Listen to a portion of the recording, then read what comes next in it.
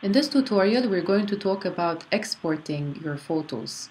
Now remember that in Lightroom there is no concept of saving and every time you quit Lightroom and you open it back, you will get the final results you got to when working on a particular picture or on many pictures.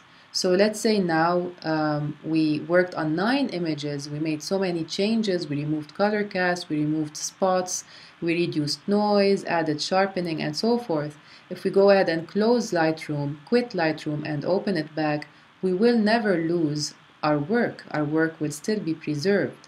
Let's say this image, for instance, if I open it in the develop module, remember that if I quit Lightroom and come back, I will have this result. It will not be deleted.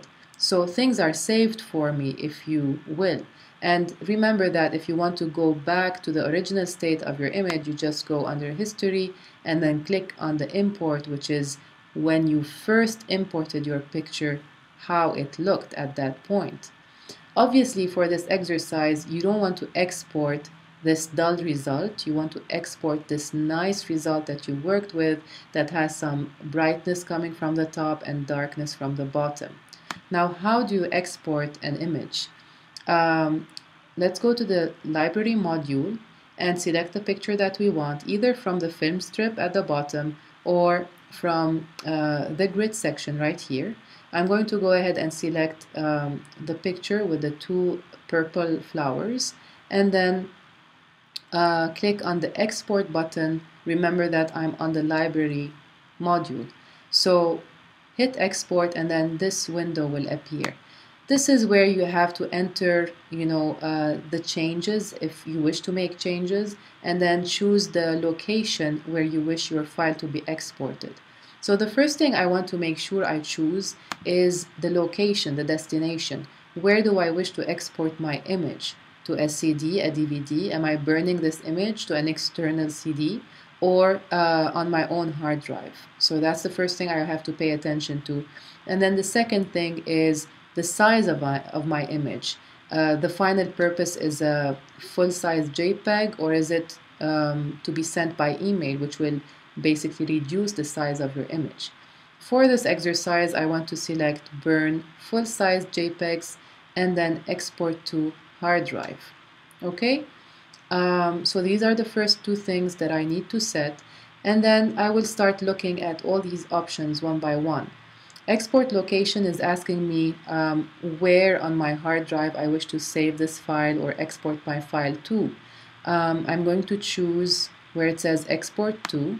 I'm going to choose desktop and inside of that on my desktop I want to keep this checked where it says put in subfolder and I will give it a name. Purple oops purple.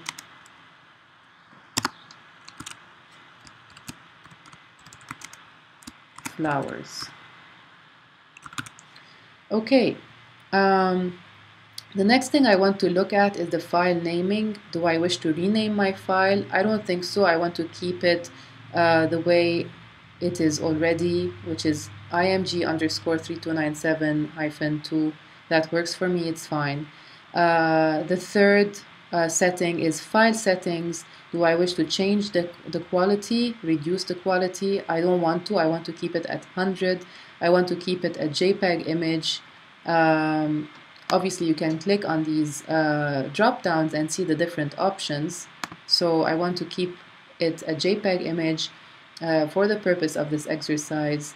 And then I will move to the next option which is image sizing. Do I wish to change my image size? Do I want to change the resolution? So all of these um, different things that you can apply to your image are found in this export panel right before exporting. You can change anything you wish. Um, do I want to change the sharpening? Anything in the metadata watermarking? No um, and that's all. So I basically I didn't do much except uh, just burning the full-size image into my hard drive on the desktop. I created a folder gave it a name and that's all I did. I made sure not to mess with the quality of the image. And then I'm just going to hit the export button. And as you can see right here I don't know if you managed to see but it was quite quick there's a progress bar that shows the export being um, taking place basically. So now if I go on my desktop I should see a folder called uh, purple flowers um, which is right here.